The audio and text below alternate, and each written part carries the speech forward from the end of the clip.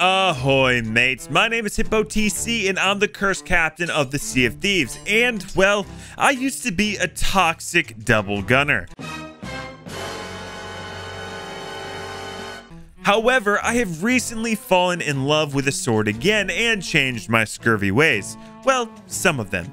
In this video, I'm going to share with you all the tips and tricks you need to know about the sword so that you too can fall in love with this versatile weapon and become a bloodthirsty, sword-wielding, thieving pirate. So with that being said, let's jump into the video.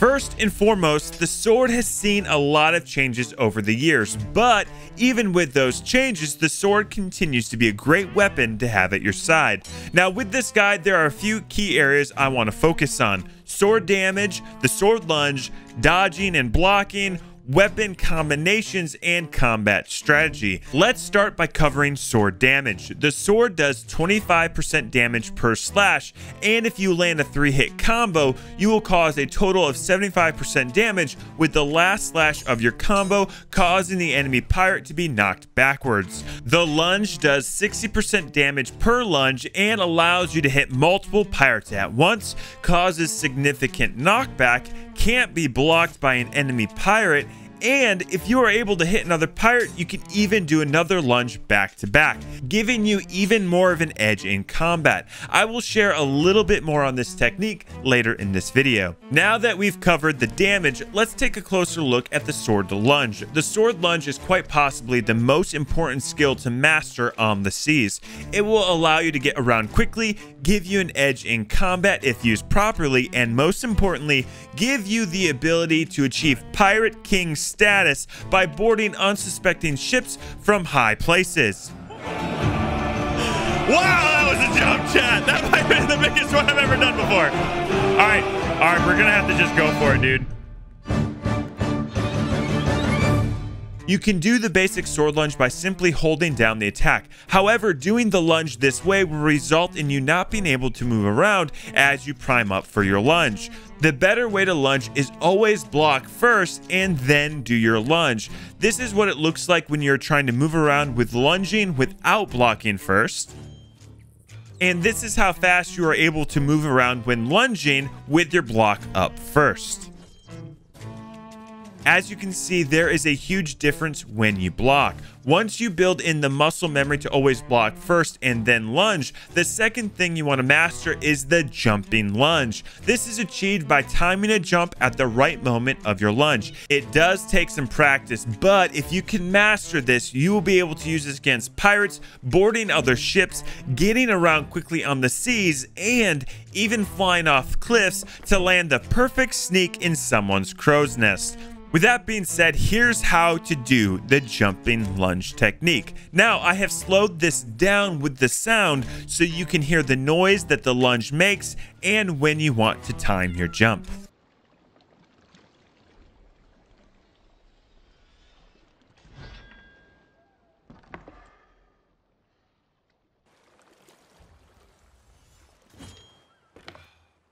Needless to say, mastering the lunge will come in handy. Now let's talk about some advanced tips and tricks with the lunge. If you are able to hit an enemy with your lunge, you can do another lunge back to back without any cooldown. This is achieved by simply blocking, jumping backward and lunging again. A great way to practice this technique is on skeletons.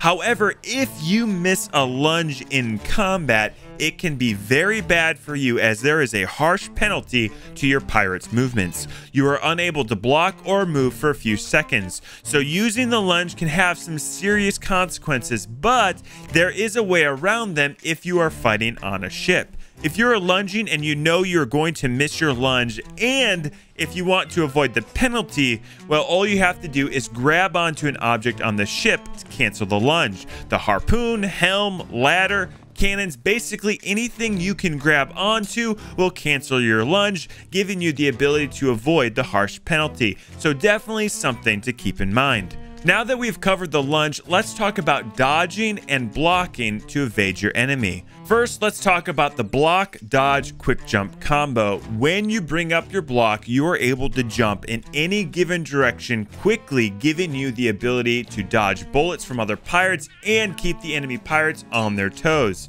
In addition to the quick jump, you can also combine this with a regular jump and achieve what the sweaty players like to call bunny hopping. The technique goes like this. This is a great technique to master and spend some time on perfecting so that it can become muscle memory for you. You can use this to quickly get around enemy pirates, win one-on-one -on -one duels, and pretty much annoy out of your enemies. Utilizing the block and jump, you can even move through enemy pirates and their attacks or blocks. I use this a lot as it gives me the ability to not only attack, but not get cornered because currently the game does not let you run through enemy pirate models. So this allows you to get around them, and if they are blocking your attacks, it allows you to jump through their block, giving you the ability to attack from behind.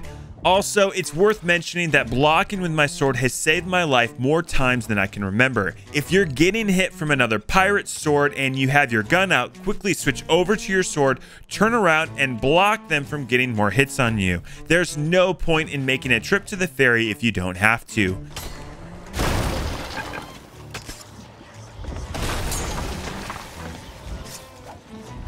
Another thing I want to quickly mention is that you cannot attack another pirate through their three hit combo. So bringing out your block is the only way to protect yourself if they get the first hit on you. Now, one of my favorite things about this sword is that there's no ammo required, which means you are never going to find yourself in a situation where you cannot defend yourself, unlike some of those double gunners out there who will eventually run out of ammo. However, you want to make sure you have the right gun paired with your sword for the deadliest combo. So this brings me to my next topic, which is weapon combinations. My personal favorite combo to do with my sword is the Eye of Reach as it provides a long range shot, a scope to shoot more accurately at distance, and honestly I believe the hit reg on the weapon works the best over the flintlock and blunderbuss. However, every weapon has its own advantages and disadvantages. I recommend checking out my top PvP tips and tricks video where I break down the weapons, reload speeds, hip fire, and damage for each weapon.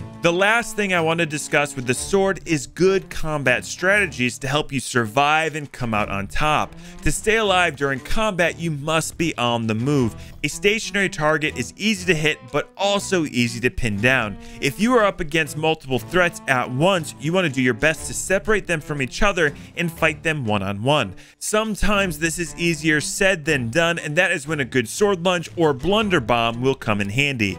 So, no matter how you slice it, the only way to get better with the sword is to use it in combat and learn from your mistakes. You can also watch other people and learn from them as well. If you ever want to see these tips and tricks in action, feel free to stop by my Twitch channel where I stream regularly. Thank you so much for watching mates, I hope this guide video helps you all become a little bit more ruthless on the seas. If there are any tips and tricks for the sword you would like to share, make sure to drop them in the comments below.